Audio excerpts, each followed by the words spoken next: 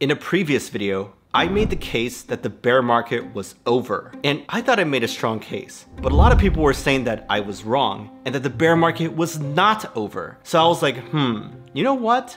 Maybe they're right. So why don't I make a second video exploring their arguments, and that way we'll have the strongest case for and against the bear market being over so you can watch both videos and decide for yourself which side is more convincing. So without further ado, I present you with my four part case as to why the bear market is not over. Starting with part one. There's no new money coming in. Check this out. This is the chart of VC funding in the crypto space. The amount invested in August is at two and a half year lows, and that is surefire proof that money is not flowing into the crypto space. I don't really blame them though. Crypto is in a deep bear market right now. And meanwhile, the new kid on the block, AI, is super hot, so all the VCs are going there instead. Even Paradigm, one of the most respected VCs in the crypto space, removed mentions of crypto on their website to show love to AI, before people called them out and they backtracked. Anyways, it's not just the VCs. Retail investors are also tightening their purse strings. For proof, just look at this chart, which shows the total stablecoin market cap steadily decreasing since the middle of 2022. That means people are converting their stablecoins for USD and opting to keep their money in traditional finance instead. Because if they wanted to keep it in crypto to invest or do DeFi stuff, then they have to hold on to their stablecoins. So that chart is super important to keep an eye on because until it reverses, there won't be a new bull market. Honestly, this should not come as a surprise to anyone because interest and activity are low across the board. Check this out. Here's a graph of the active developers in crypto. It's going down and to the right. Here's a graph of active addresses also down and to the right. And here's social media activity also trending down since its high point in 2021. So yeah, the bear market is clearly not over until these trends change. And if you ask me, they look like they have a little bit more to drop before they're ready to reverse. But do you know why these charts and metrics are looking so bleak? Well, one reason is because of part two of my case. The fact that regulators are still attacking the crypto industry. In the US, the SEC is still on a warpath. Even though they had a partial loss against Ripple and a unanimous loss against Grayscale, it seems like Gary Gensler does not care at all. And he's full steam ahead with his goal of killing the crypto industry. They are still suing Coinbase and Binance after all. And they even recently sued a company for their NFT collection, a first when it comes to enforcement actions. So it looks like Gensler still has the green light from the powers that be, and he's not gonna give up that easily, even after a few losses. But also, remember the whole Operation Chokepoint 2.0 ordeal that everyone was talking about? That's the theory that the Biden administration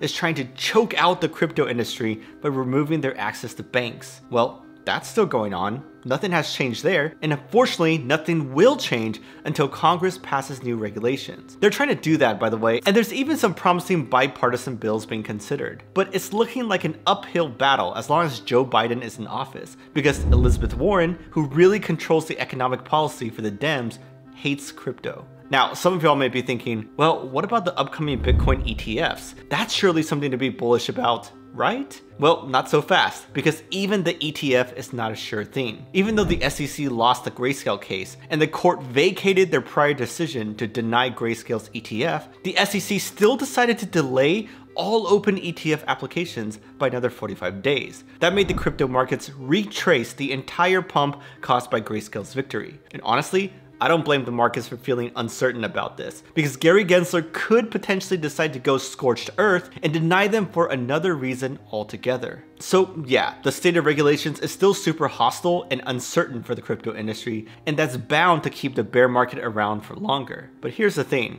even if regulation was not a problem, there's something else, even bigger than that, that's holding us back. And that'd be part three of my case, the bleak macro environment. Before we get there, I want to give a quick shout out to our video sponsor CoinCall. If you're feeling bearish from this video and want to hedge your portfolio, well, one way you can do so is through their Bitcoin or Ether options. Their light mode makes it as easy as trading options on Robinhood, if you've ever done that before. So here I am looking at their December expiry options, and I'm choosing puts because I want to hedge for downside, right? And then I can scroll to the strike price I want and fill out the order form, and boom, that's it. Anyways, I'm not recommending that you go all YOLO with options, but if you know what you're doing or take the time to learn, then it could be a great way to hedge your portfolio. So go try them out using my link below if you're interested. Also, you can get a deposit and trading bonus as shown in this graphic. Alright, back to part 3 of my bear case. Like it or not, you gotta admit that Bitcoin and crypto are treated like risk assets by the broader markets. And that means the macroeconomic environment affects their performance a lot, because it directly impacts how risky investors are feeling. But just how is the macro environment looking these days? Well, in a word, bad. If we look at the treasury yield curves, they are screaming that a recession is coming. But even more worrisome is that discretionary spending is down as well. For example, people are spending less money on their pets, like purchasing cheaper types of pet food than before. And that is a huge red flag because we all know how much people love to spoil their pets. But here's the thing, the macro is bad in a sneaky kind of way, because it's not bad per the usual metrics that the government cares about. Like, the stock market is still holding up decently well, unemployment is quite low, and inflation numbers are down as well. So when the central bankers look at all the data from their ivory tower, they think that things are fine. That's why a lot of them are continuing to jack up interest rates and keep the money printer off, both of which continue to put a damper on risk assets like crypto. But so far, we've been taking a pretty US Or Western centric view of the economy. But there's a whole other side of the world that impacts macro too. You know, the East? Speaking of which, China, the world's second biggest economy, is also in a precarious situation. They've been slumping big time, and the world economy has long relied on China's rocket ship growth to carry the rest of the countries. So China is in the middle of a multi-year slowdown, mostly caused by demographic changes and strained relationships with their trading partners. But more acutely, remember the real estate bubble that all the finance YouTubers were fudding about? Well, it looks like they were right about the what, just not about the when. Because they predicted a China bubble pop months ago, but it looks like now is when it's just starting to happen. That big Chinese real estate firm, Evergrande, just recently filed for bankruptcy, and their shares continue to collapse to never before seen levels. So the big looming question becomes, will that drag down China and hence the rest of the global economy? I mean, I don't know the answer to that.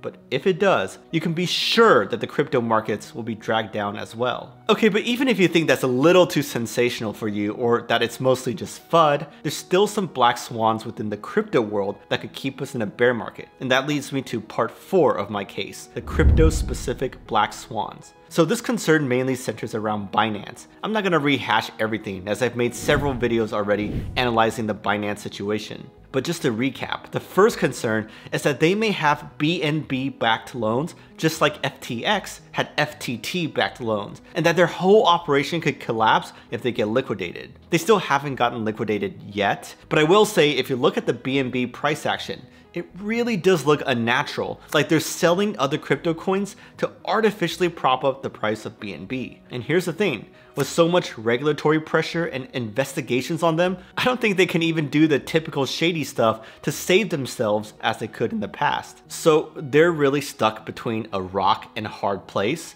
Speaking of which, they had a rare sealed motion filed against them by the SEC, which experts say that that means they have a sealed DOJ indictment as well that the SEC doesn't want to unveil. Now, that could just be speculation, but it sure does not look good for the biggest exchange in the crypto space. And even if you don't think it'll turn into an FTX-like black swan, you gotta admit that all their top execs leaving in short fashion does not generate a lot of confidence in the future of their exchange. So my whole point here is that if any new black swan happens to Binance, Tether, or whatever other big player in the crypto space, then you can bet that the bear market will continue. Anyways, there you have it. My strongest four part case that the bear market is still here. Honestly, I still lean towards the bear market being over, but I will say that after researching all these points, I'm a lot more uncertain about that than before. What about you though? Are you feeling bearish and want to sell all your coins? Well, if so, you gotta watch this video first so you'll have both sides in mind and then please let me know below which one you agree with more.